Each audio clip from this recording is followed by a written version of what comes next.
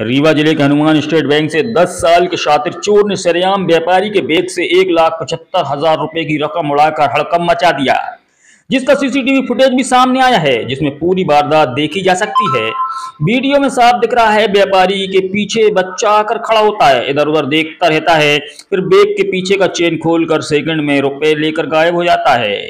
जानकारी के अनुसार किराना व्यापारी राजेश गुप्ता, पुत्र भारतीय स्टेट बैंक की शाखा हनुमान पहुँचा, जहाँ पर उसने केस काउंटर से एक लाख रुपए, एक लाख पचहत्तर हज़ार रुपए की रकम निकाली।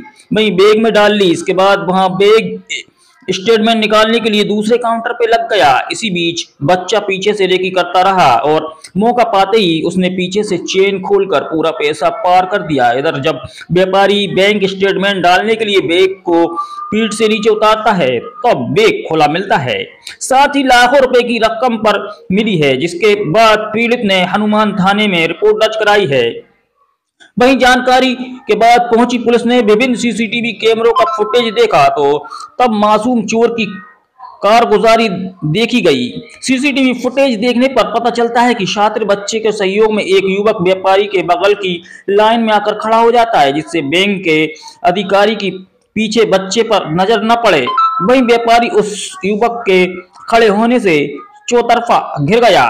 जिससे आसानी से बैग की रकम बच्चे ने पार कर दी। दावा है कि गार्ड बैंक के बाहर निगरानी करता रहा। मासूम बच्चा एक लाख पचहत्तर हज़ार रुपए की रकम हाथ में लेकर भाग गया। वहीं पीड़ित व्यापारी ने बच्चे की पहचान बताने वाले को दस हज़ार रुपए का इनाम देने की घोषणा की है। पीड़ित व्यापारी राजेश गुप्ता ने बताया कि बैंक के अंदर दो मिनट में गेम हुआ है। वह एक लाख पचहत्तर हज़ार रुपए की रकम निकाल कर गाँव लेकर जा रहा था। इस रकम से किराना का सामान व पुराने लोगों की उधारी देना था लेकिन दस साल के शातिर बच्चे ने पूरे व्यापार पर पानी फेर दिया। अब पुलिस मामले की जाँच में जुटी है। राजेश कुमार गुप्ता पहाड़ी। क्या घटना हुई आपके बैंक में? बैंक में आए सर हम तो यहाँ पे पैसा निकाले एक लाख पचहत्तर हज़ार तो ये हमारे बैंक से स्टेटमेंट निकलवाने लगे थे तो निकाल करके एक लड़का हाँ निकल गए।